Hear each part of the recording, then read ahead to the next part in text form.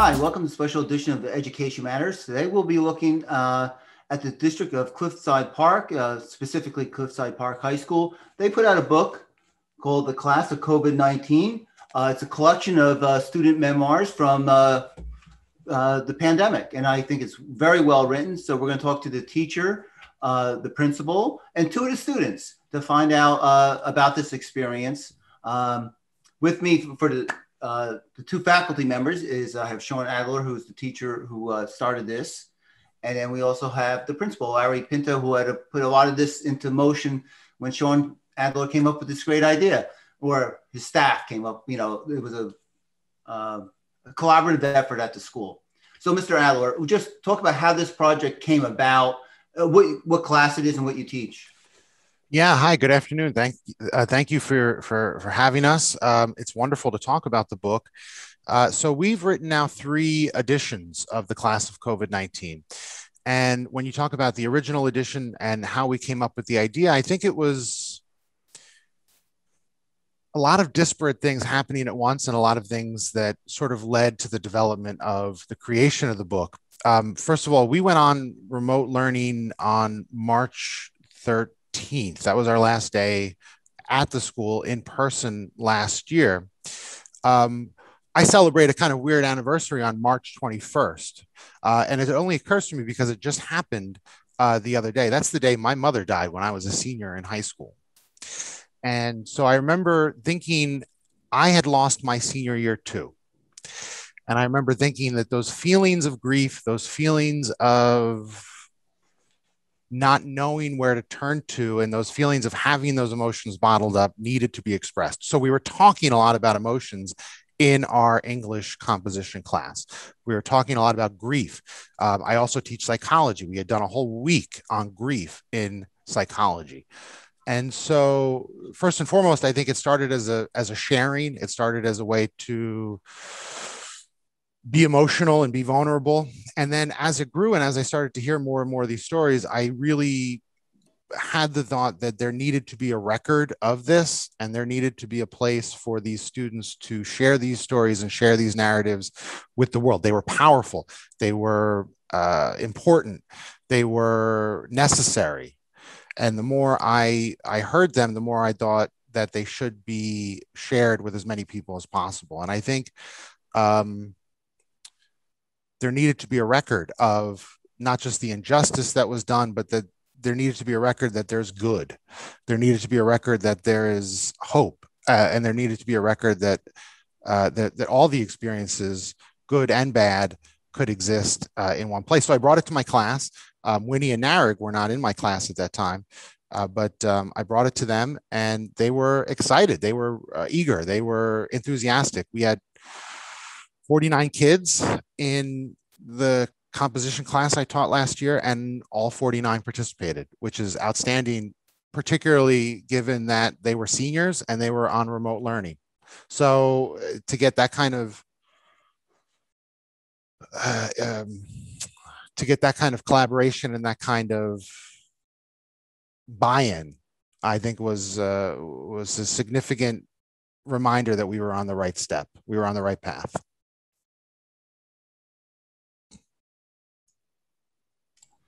I will say the stories are powerful. Uh, I, you know, and uh, I can really relate to a lot of them. Uh, and you almost forget what it was like last May in, in uh, our, you know, in the northeast corner of New Jersey. So, Larry, you're the principal. Teacher comes to you with a great idea. There's a lot of paperwork and there's a lot of things that you have to do to, to make this happen. It's not just it's not a simple thing. You have to go to the board and the, the superintendent and get releases. So what was your reaction? Usually, when I get ideas from the staff or the students, uh, you know, a lot of times it's, well, how do we make it happen? And in the case of Mr. Adler bringing this to our attention, it was, well, you know, this is this is really new. Like we've never done anything close to this. I'm not familiar with anybody doing anything like this. So how are we going to make this happen?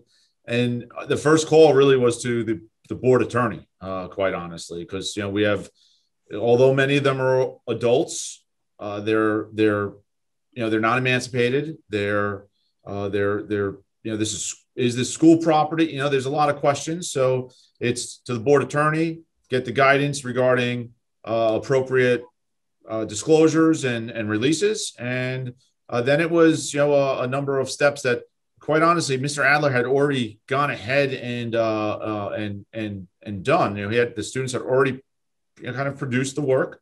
Um, he had already kind of introduced the publication to them and he was ready to kind of just to sell the book and, and put it on Amazon. And, uh, you know, that's when we kind of said, Hey, let's make sure we do this within the bounds of the law. The board's aware.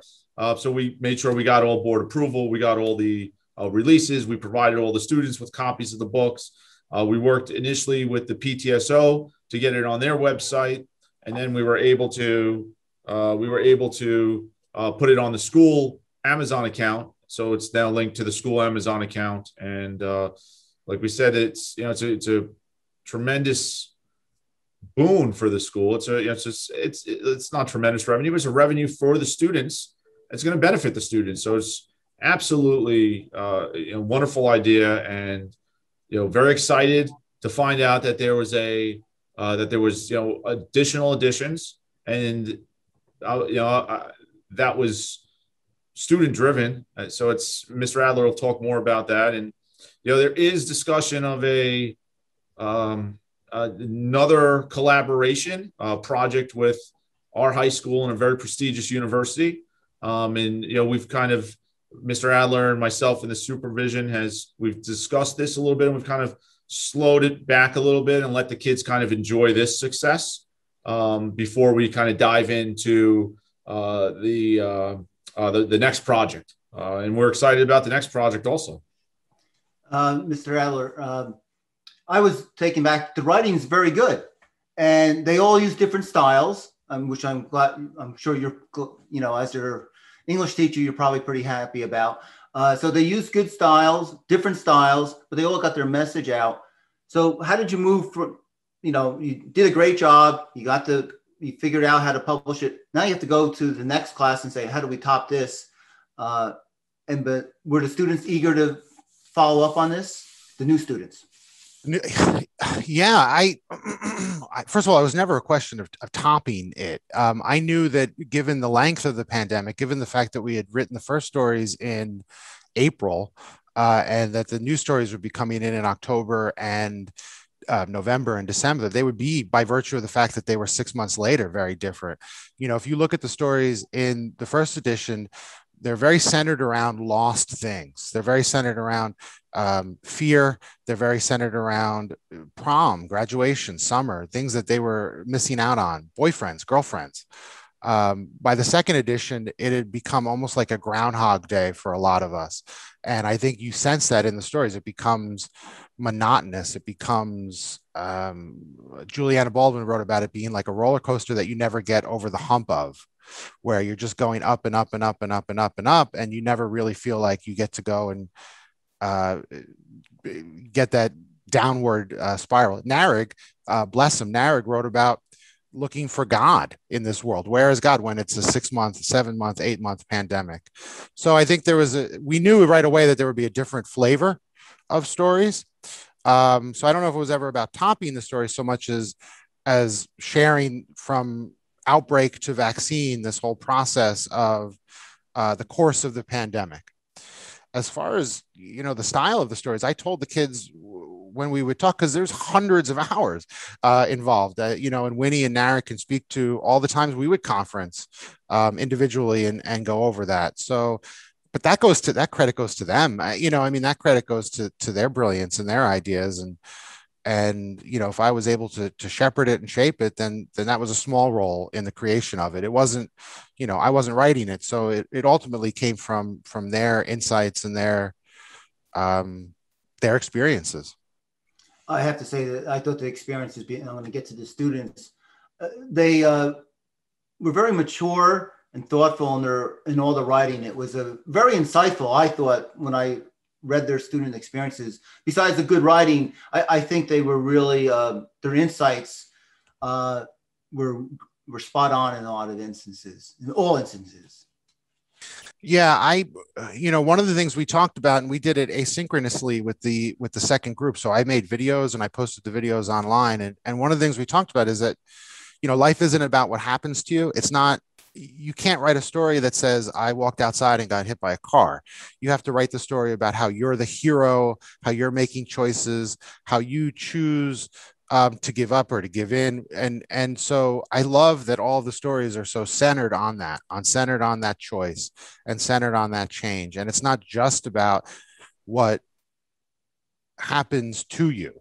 Um, the other thing we talked about a lot with the kids was was you know someone somewhere is going to write the history of covid right? And it's going to be 1500 pages and it's going to include interviews with donald trump and dr fauci and joe biden. And i mean everyone's going to be involved. That's not this book this book is your feelings, your stories, your experiences. So, you know, we don't need the story of COVID per se as it relates to the virus itself. We need the story of you.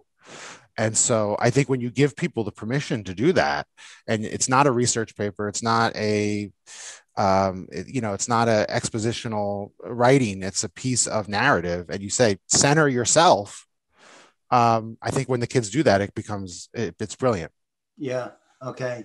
Um, all right. I'm going to go to the two students here for a moment.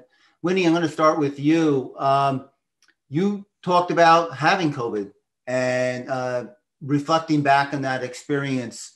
Uh, was that a hard decision, or did you say, "Well, I'm, I know what I'm writing about"? So in the beginning, I felt very reluctant to write about my own experience, but at the same time, I think we've lost the sense of human connection. So I really wanted to focus on being able to share my story and my vulnerability so others can relate to it. Now, um, full disclosure, I had COVID too, and so I can relate to a lot of what you wrote about. And one of the things that you wrote about was uh, you felt kind of weak. You, you used that "I am weak," and you also uh, kind of like you have a scarlet letter that you, you you're identified by this uh, was that something you really truly felt that it was like just you felt bad about having COVID? Definitely. I think um, my mom, she was there for me. So I think it was important that I had to say it because, you know, I felt like I was just there making everything harder for her. So, you know, that was my focus. I wanted to um, make it so that um,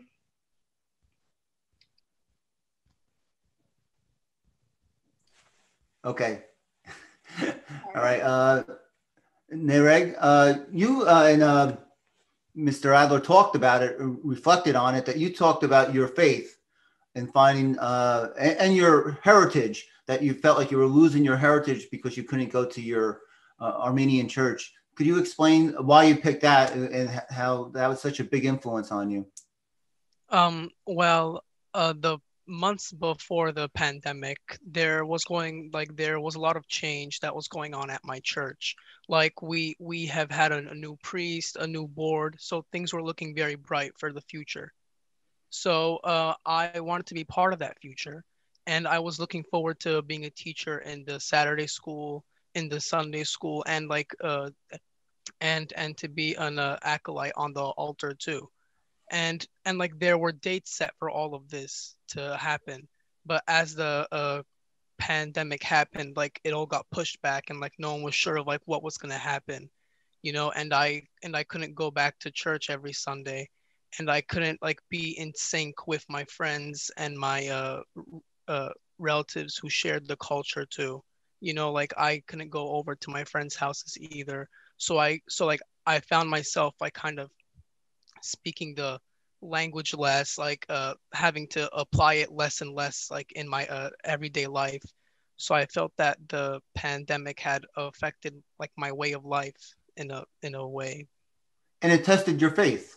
Yeah, it, it did really because um like you read in the Bible that like God had sent like these like horrible things to happen, but then there were these people like these prophets and these like figures who prayed to God and they had faith and everything kind of turned turned out fine for them you know? But in a world that in my opinion is kind of straying like far far farther and farther from God I found myself kind of lost like what's going to be the outcome of this you know I mean? Like if these people who are strong in their faith stop going to church is it going to be the same like af- after everything goes back to normal? So i i was like i myself was kind of questioning that. So I, I just like found myself just like reading the bible more and trying to find of like found like find some sort of guidance in my uh spiritual life which was lost. Okay. Winnie i'll go back to you uh, it's one thing to talk about it. It's another thing to do a writing assignment and start writing about your experiences and your feelings. Did you find it gave you better insights into your what you were thinking as you were writing, as opposed to just talking about it? Um, can you repeat the question? Okay.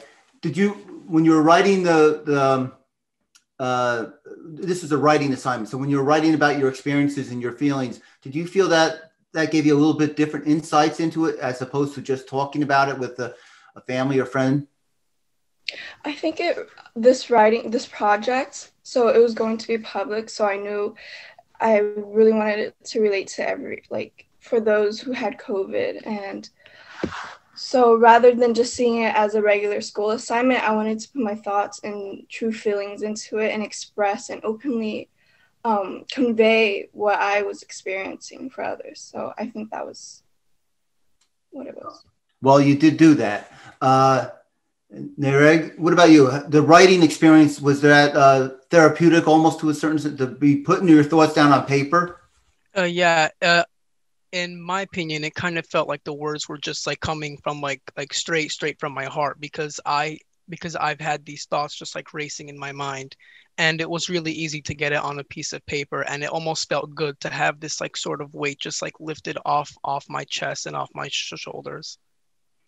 Well that's mr adler that's what uh, uh, the teacher wants to hear when i was i was smiling and nodding my head. I don't know if anyone could see me because i wasn't on the screen but yeah that's it, it, it warms my heart you know? We've we've we've gotten tremendous feedback from some of the students that say it really helped them with their uh, you know emotional health and knowing that would be enough.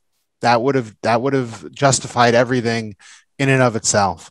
So just understanding that it's been you know we have we have stories in in the book in both books about depression. We have stories in both books about anxiety.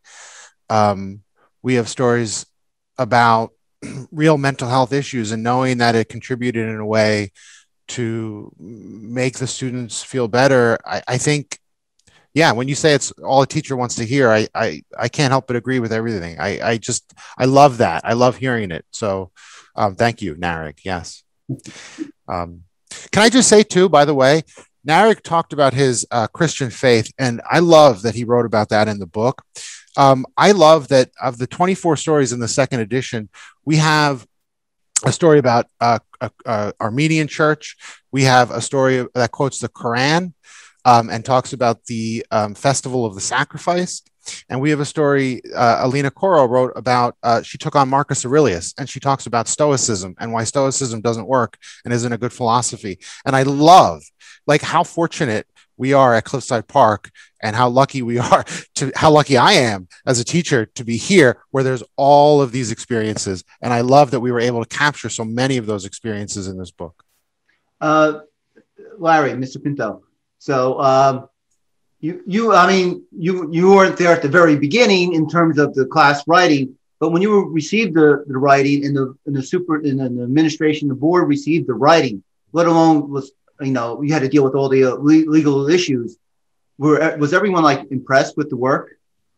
Oh, absolutely. The, the level of writing from the initial group and the level of writing from the, the second group, uh, not only the different styles, but they the the second group of students, you know, this was an assignment for them. Uh, I'm correct on that. I think this was student driven. They reached out to Mr. Adler and were like, "We want to do this." So you know the the the level of of of writing, um, you know, is I don't want to say improve with the students. You, know, you asked us, you know, asked Mr. Adler, how did how could he top that? And that was never part of Mr. Adler's goal. I think the students themselves uh, that elected to do this, they they wanted to to to write something meaningful and special and powerful.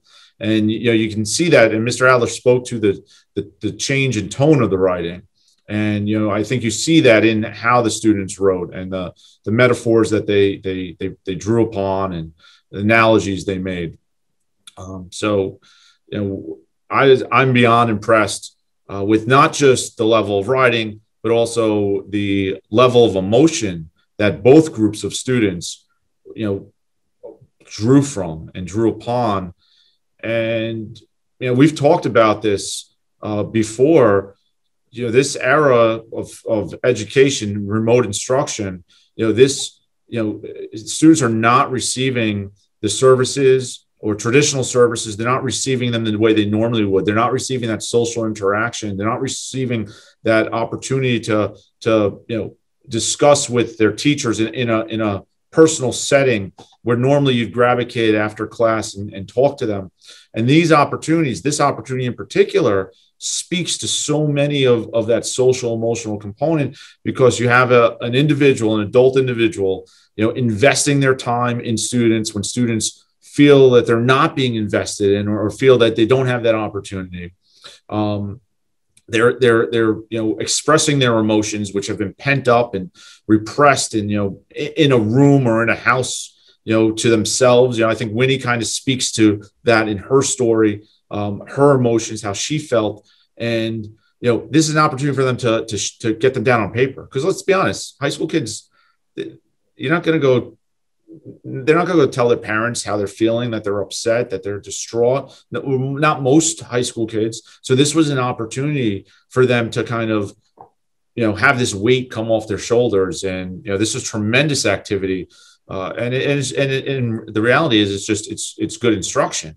It's good instruction that is normal instruction but it, it was kind of difficult to do in a remote setting, but we were, Mr. Adler was very proactive, developed the tool or, or found the tools that he needed to make it happen and allowed for the conferencing, you know, allowed for that, that the editing that the students needed. And, and, um, you know, as much credit as he deflects to the students, he's respond, he's, he's very deserving of a lot of this credit also, because he came up with the idea, you know, put the steps in place, talked it up amongst the kids, so much so that the second group, you know, they, they, they, it was student led. They, they want it turned into like a club or, or like another class for Mr. Adler. Like it was not one of his teaching responsibilities. And we're thankful to him and thankful for the students for, for uh, really, you know, finding the need to do that. So. Okay. Well, uh, Winnie, uh, and I'll go to stu- uh, Nero later. Um, uh, was it, w- did all the students really want to do this? And why did, you really want to do this as a, from your perspective as a student to do this writing? Right. So, like Nareg said, it was very much so a therapeutic process and being able to write it down and let it out in some way. So, I think that was the main reason why I wanted to do it as well. And what did your mother say when she read it? Um, honestly, I thought she was pretty emotional. She was like, I didn't, she didn't know that's how I felt. So I should have probably told her first about it, but I mean, I guess she read it through from the book and she got to understand more about me during the time because I'm not very an open, I'm not very open. So her reading the book, I guess she understood more of me. It's easier to put it down on paper than tell someone face to face. Right. Mm-hmm. I understand that one. Uh, so Nareg, what about you? Uh, why do you think the, all the students wanted to do it? And then I'm going to ask you follow up when your parents saw it or you, whoever you gave it to in your family. What were their thoughts? Well, like uh, when he said, it really was some like extremely therapeutic to write. And also, I thought it would be good to do because I wanted to challenge my writing like uh, abilities. Because be since we were in the pandemic, like we didn't have the same level of challenges because it's like it's difficult you know? So when i saw this uh, opportunity i wanted to take it not only to express my emotions but to challenge myself as a as a writer. And when i did show show my parents like i believe that my hard work did pay off because they were extremely emotional. Like they they were in tears and, and like i was like frozen. I was like what happened, you know? And, and then, then they're like, oh, I'm so proud. And then I, I, like, I just felt weird, but it kind of like gave me a sigh of relief to know that they felt that way. Mm-hmm. And do you think they got to know you a little bit better just by reading that? Even you know. Yeah, yeah, of, of, of course, because like like you were saying, it is much easier to write some to like to write your thoughts down than instead of saying it out loud, especially to your parents, because that's not like very easy. Okay, uh, Mr. Adler, we're going to be wrapping up. Uh, one of the hardest things for teachers sometimes is getting the students motivated. Well, that seems to be something that we've accomplished pretty easily here for you. Um, uh, so, what's the the next steps? And were you glad to hear what their their families thought about their writing, how it touched them too? Oh my goodness, yeah. I, I, I all right. So there's a couple things here at play. First of all, um, I was very good at, at some of the big ideas, um, but I was very nervous, and particularly with regards to the reception from the parents. Um, so when I hear from a parent, when a parent emails me, or even when a kid relays uh, what their parents have said, I, it really does. Uh, it makes me so glad and and and almost relieved in a way. In the first book, we had a story, our second story in the book, Christian Cruz wrote about his his father's relapse, and I was very nervous uh, about that uh, up until his father came and gave me a hug at graduation uh, and said that the fact that he had read the story had helped him realize what was happening and was inspiring him to come back. Um, and the more I hear from that, from parents who say that it's helping their children. And by the way, Winnie's story about not telling her mom but being able to write it down is very common. And so it yeah of course of course it makes me thrilled. I'm i'm i'm you know i'm, I'm i feel fortunate that i get to experience that kind of gratitude um, because it's it's how i feel. I feel grateful to them you know and that's why i started with the story about my mom too like it it, it it's helped me um, you know sharing and talking and conferencing and and working with these stories. As much as we worked with these stories it's been cathartic for me. So you know i'm just as grateful and just as lucky as everyone else. And i'll say this too mr pinto is very complimentary but you know none of this happens without the support from the entire staff and, and particularly mr pinto. And there are some supervisors who deserve mentioning mr janucci miss Van Vliet because you know i'm new to this school. Uh, this is my third year here. So last year I was here a year, and then we had the pandemic, and none of this is ha- none of this happens if they hadn't encouraged an environment of vulnerability and compassion where the students of cliffside park i got them as seniors they had been prepped for this for a long time by good people and good teachers so right off the bat and then as mr pinto says i'm i'm not good sometimes at some of the legal stuff and some of the releases and, and other that. So, you know, thank thank goodness for him. And really a lot of credit goes to so many people uh, at the community. Okay, Mr. Pinto, have you, you have the final word. Um, you have to be proud of your staff and your students as a principal. Uh, you know, that has to make you your heart feel good about this, taking a, really very difficult time and, you know, bring out the best in everyone. Absolutely. As a community, uh, we were one of the we were really we were hit very hard. Uh, May 30, uh, March 30th, uh, two weeks into the pandemic, uh, we lost uh, Mr. Ben, Coach Ben Luderer. You know, and he was he was 30 years old. He's a very young man. Nobody thought COVID affected young people. Um, you know, students wrote about baseball practice and you know feeling that they might be the reason that Coach Luderer got this, and and so the, the fact that, you know, our community was hit so hard on the national stage right away, uh, the, the rate of uh, positivity in the community was very high. Um, that, you know, to see these students respond in the way that they did, I, I couldn't be more grateful. I couldn't be happier for them to see their recognition. Uh, it, it, truly speaks uh, to how hard they worked and what they did, what they've actually accomplished. I mean, CNN, NBC, you know, Wall Street Journal, People Magazine, uh, you know, it, it, great for them. I'm so proud of them.